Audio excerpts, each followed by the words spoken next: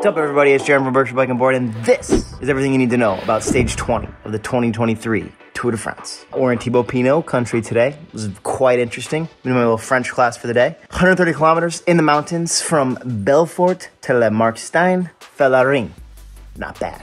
Bumpy day today, up and down, a lot of climbing, last day in the mountains. Tomorrow's the Champs Elysees, so everybody's trying to get their kicks out. I was pretty interested to see what was going to happen today, so I woke up quite early and watched the whole entire stage from start to finish, which I haven't really done yet watched a lot of it, but th- this was really a, a, marathon, if you will, for me, and a nice way to kind of end out the tour, even though we do have one day to go tomorrow. But I'm gonna ride my bike tomorrow, so right off the bat, polka dot guys are going for it. Ciccone goes off the front. Powless tries to go with him. They're kind of going back and forth, neck and neck. Powless got the first one, I believe, and then Ciccone got like the next two after that, up and over the top of the mountains, got the KOM points, and it that sealed the deal there. He's looking strong. Still think that kit looks ridiculous, but also kind of fun. But why don't people take us seriously? That's part of the reason why. But um, yeah, it was good to see him get the win on that. And then from there, we, the the big boys got to work. You know, like I said before, we were in Thibaut Pinot country. It's his last tour. This is his tenth tour, I believe, ten in a row. He's won a few stages. Pretty amazing career. He was off the front. He was in a breakaway, and it was it was pretty interesting. The fans came out in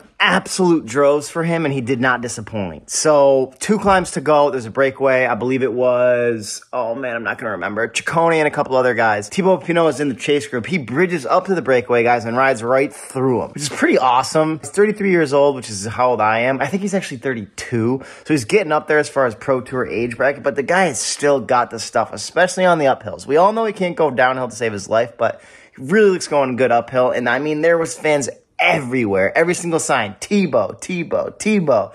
It's just fun to see, like, you know, if somebody is coming through their hometown or something and you, you know the fans are gonna be there to support them and, like, you give them what they want. You know, he was off the front. He was by himself. It was like, is he going to win the stage today? And I think it was pretty obvious considering like Tade and Jonas were less than a minute behind or about a minute and 15 seconds, I believe, at, behind at the, the, the furthest that he probably wasn't going to win because there was two climbs to go and these, the, Tadej and Jonas can reel reel in anybody if they're behind a minute or less in a mountain stage quick, like in less than five minutes. Less than a few minutes, realistically. So it was pretty obvious that he wasn't going to win, but I was almost like, are they going to let him win? Like, it's kind of romantic, bike racing, France, in his hometown, last tour. I'm not a huge fan of the French guys because I think they won a lot, but I was kind of rooting for him. Trivia last last French cyclist to ever win the tour. I'm going to give you the answer to that. It's Bernard Hinault, the Badger, back in the day. He's a badass. I wouldn't want to race bikes with him, but basically what he says is the French cyclists have gotten too lazy. They don't want to work hard, which means they're not going to win any more tours. And you know, given the standings lately, it doesn't look like he's too far off from that. Anyways, shout out to Thibaut on his last tour. Great ride. He goes up and over and he, you know, he kind of gives it on the descent, but like he can't really give it compared to the other guys. We start going up the last climb of the day and we have this power th- thruple, if you will. Thruple? Yeah, power thruple. Tade, Jonas, and Felix Gall is starting to be in that group. I think it's going to be super exciting to watch what this guy brings to the table over the next few years. I think we're going to see a lot of those three.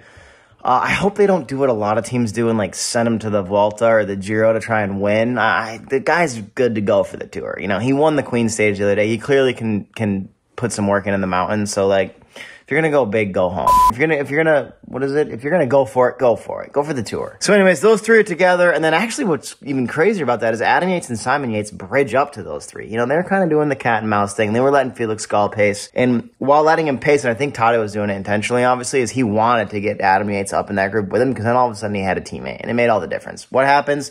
They go around, they go up the last final climb, and there was basically a a couple K flat, 180 degree turn, and then a couple K kind of slight uphill, falls flat to the finish line. Adam Yates catches him. He knows what to do. He goes right on the front. I almost wanted to see Adam Yates when I thought it'd be kind of cool if Toddy pulled him in for the win. But thing is, if you do that, you don't guarantee your team the win. Whereas if Adam Yates pulls Tade in, it's a guaranteed win. And sure enough, Adam Yates gets in the front. He's pulling in Tade. Jonas actually makes a break for it and gets the jump, but he just doesn't have that explosivity that Tade has. Tade, after being completely dragged through the mud the last few days in just survival mode, just boom goes, gets the win.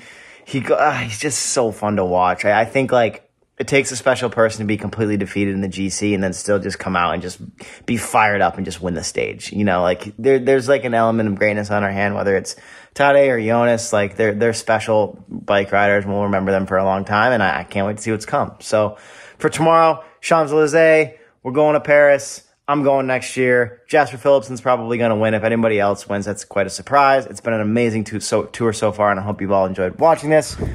Subscribe, hit the thumbs up, round up for distance, round up for time. Thanks for watching.